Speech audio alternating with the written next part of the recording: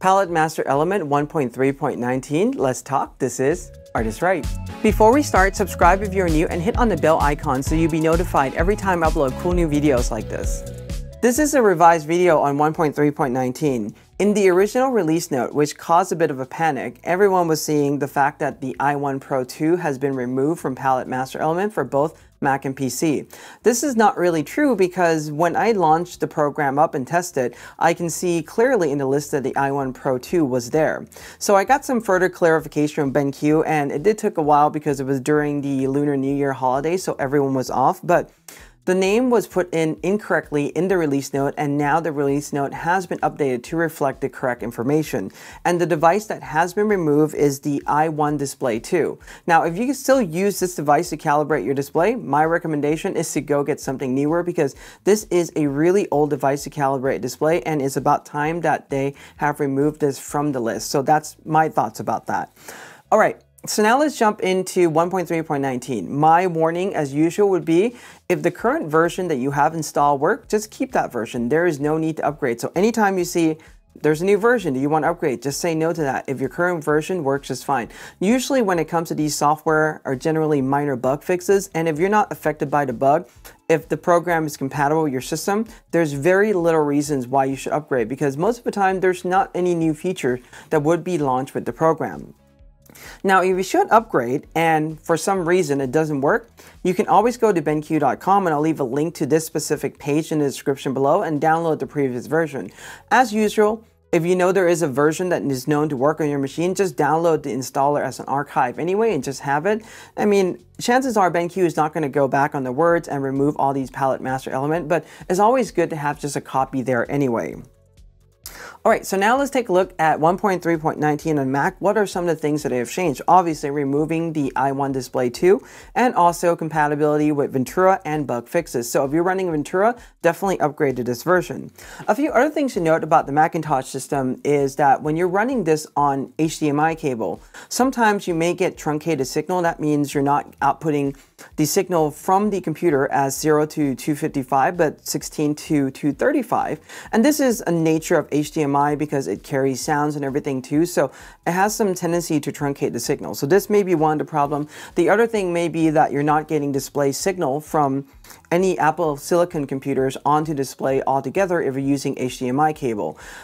In my testing, I haven't found HDMI to be an issue, and if you want to use HDMI, you can perfectly do that. What I would do and what I would recommend is to run a calibration and make sure that it passes the validation. If it does, you can continue to use the cable. If it doesn't, then I would consider using, for example, USB-C to USB-C or Thunderbolt cable. That's going to be a much more robust connection that you can use. Another thing to note as well is that on the Apple Silicon machine, if you have two BenQ SW models with the same name, for example, two SW270C, like I have in the studio as I'm filming right now, well, the one thing you have to do is disconnect one of the display before you start the calibration process because Palette Master Element may calibrate the incorrect display, and that's definitely something you don't want happen. If you're using USB-C connection, just simply pull the plug and you're just calibrating one of the display at any given time. If you use a display, for instance, with either HDMI or DisplayPort, you can simply just disconnect the uplink cable and that's another way to get around it as well. But these are ways to get around these issues as of now.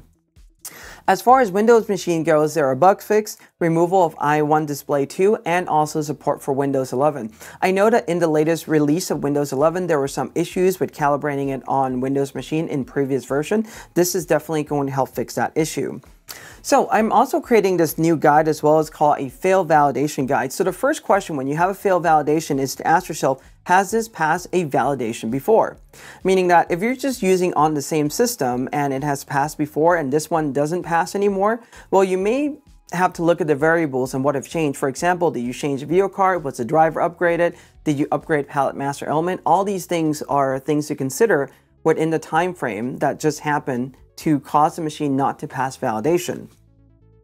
Now, in addition to this, I will also say that there are system settings to turn off on both Mac and PC. Sometimes a lot of uh, individuals that I have helped with with Palette Master Element, it comes down to not turning off HDR, causing calibration to fail, or not turning off True Tone, causing the calibration to fail on the Mac side. So those are things to think about, and I'll leave a link to the video for both Mac and PC in the description below as well, so you can see how to turn off all these settings before you start a calibration process.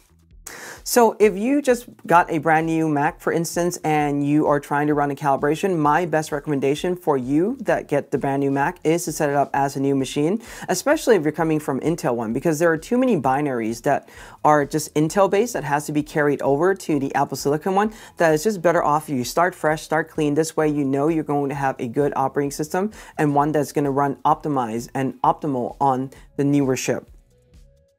And that one other thing I want to make sure as well is that the OEM software is not running in the background. So for instance, if you have a Calibrite device and the Calibrite program is running in the background or the tray is running, this can sometimes cause the device not to be recognized or things not to work properly. So double check and make sure those are not running. I'll leave a guide on how to solve those problems as well in the description below.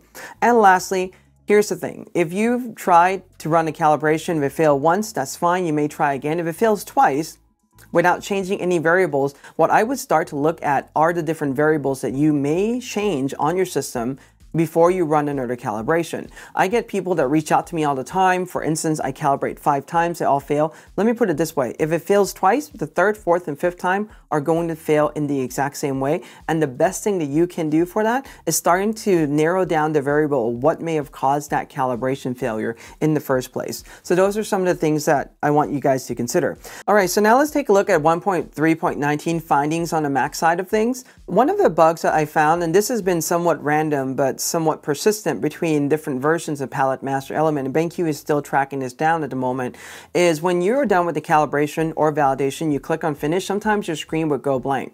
And it doesn't seem as if your screen turned off, the screen is still on, the backlight still running, but it just goes blank.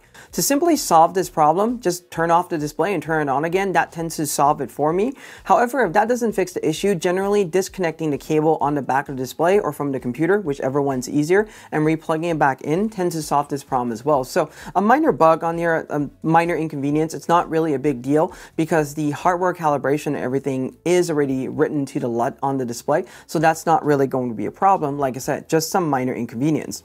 As far as Windows side of things, sometimes you may get a pop-up saying that USB connection cannot be established or something like that, just simply restarting the system would help solve those issues. But that has been rare for that to show up.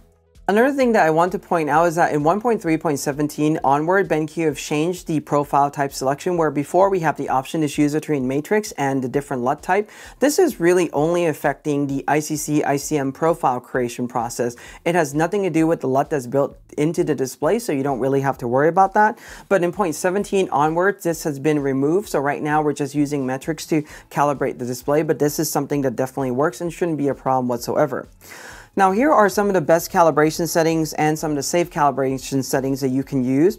All this, what you're seeing right now, 1.3.17, 18, and 19, this has pretty much been the same for the past few versions. Although what I have been testing in this version is using absolute black. And what I found is that the current version, 0.19, tends to scale absolute black fairly well. So what I'm going to do is leave a link to a resource file that you can download to see how the black tones are scaling on the display.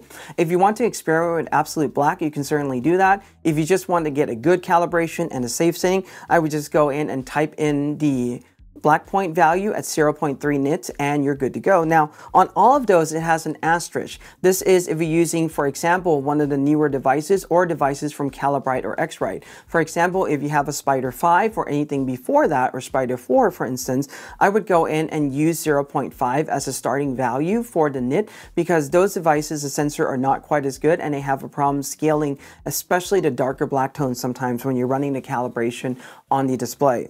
Now I put in the last row for both Mac and PC there. This is for Resolve. For Resolve, I haven't actually gone in and tested these settings personally, but if you're doing video, these are some of the things to consider. Change the gamma to 2.4, use 0.3, and again, what I've shared with you before, you can certainly try absolute black as well and see how this would scale.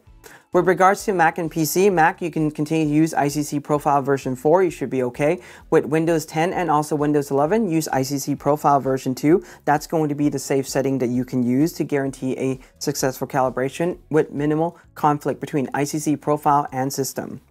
All right, and with this in mind, Every single thing I'm sharing with you, these are just suggestions. They're just guidelines. You don't have to follow them exactly to the T. If you have a setting or a formula that works well for you that you have been using, that's perfectly fine as well. However, for anyone new that wants to get a good calibration on the first try, well, this is those settings that you may want to use when you're running the calibration. So my recommendation, as always, for Palette Master Element is to download and archive previous versions. So at least you have them or at least previous known working version for your system. This way, just in case, if you ever need it, you always have access to it.